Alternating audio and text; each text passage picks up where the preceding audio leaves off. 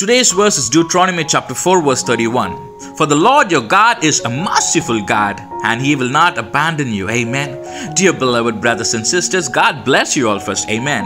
And as we get into the verse, yes, the verse says, For the Lord your God. Amen. So he is yours always and yours alone, and you are his beloved.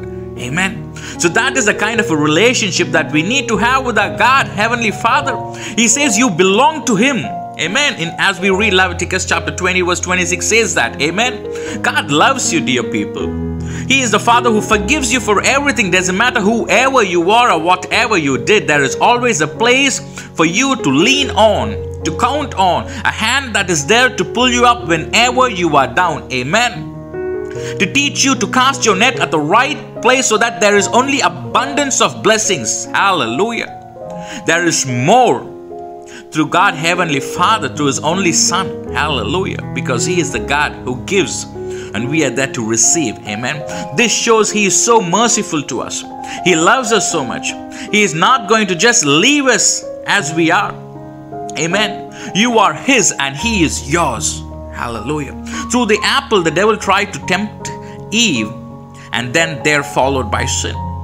But now you are not left alone, dear beloved brothers and sisters. The Bible says in Psalm 17, verse 8 Keep me as the apple of your eye, hide me under the shadows of your wings. Amen. So today you are not left alone, you are not abandoned.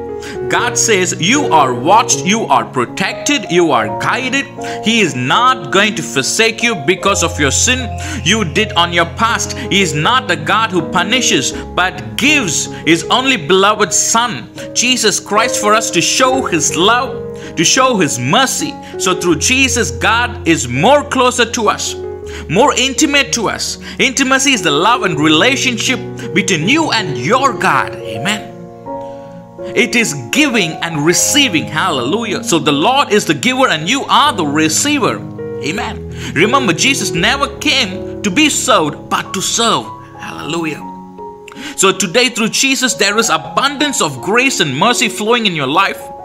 We all know Paul, right, in Bible? Not just as a character, but a man of God himself. Paul wrote the book of Philippians. And Philippians is, is the chapter that says more about happiness, joy, joyfulness. Amen. And when you read Philippians chapter 4, verse 4, the Bible says, Rejoice in the Lord always. Where in the Lord? So there is only happiness through Christ. Amen. As the verse continues, I it will say, I will say it again, rejoice. Amen. So now you know where did Paul write this? Paul wrote this book in the prison. Amen. Hallelujah. So, what I'm trying to say here is Paul was not alone in the prison. It was God, Heavenly Father, there with him. He was not left alone. There is joy right now, gladness and mercy from today onwards because your God is a merciful God and He will not leave you alone. You are not abandoned. Amen. God is there with you in spite of whatever situations you are. God says that you're not left alone. There is going to be happiness, joy, gladness in your place right now. You are going to experience that. Amen. You expect to get something and that is going to happen in the name of Jesus. Your wants are going to be satisfied, and it is satisfied. There is more provisions, there is more mercy and more, mercy and grace in your life and you're not left alone because God says you are His and He is yours. Amen. Hallelujah. So let us pray. Dear Jesus, thank you, my Master, for this beautiful day that you have given us, Lord. Lord, we believe that we are not left alone, Lord. Your love overflows. There is a lot of grace and mercy in our life, my Lord Jesus. You care for us, Lord. We are not alone, Lord. We are protected. We are watched over so that we are guided in the right path, Lord Jesus. You will you will hide us under your wings, Lord, so there is protection, my master, and we will explore your love more and more, Lord Jesus.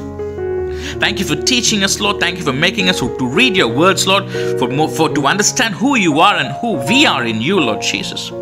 Thank you, Lord, for being us. Thank you for that for that intimate love, Lord Jesus. We belong to you and you belong to us, Lord. We are yours, my master, and you are mine, Lord. Amen. Lord, the devil doesn't have any authority over our lives, Lord Jesus. We are safe, we are guided through your mercy and through your love and through Jesus Christ. There is only abundance. We believe that this day is a blessed day, and Lord Jesus, we believe we are forgiven. We are washed by your blood. Thank you, Jesus, for this beautiful day, for this blessings right from today, for the rest of the days in our life, Lord. In Jesus' mighty name, we ask this prayer. Amen. God bless you.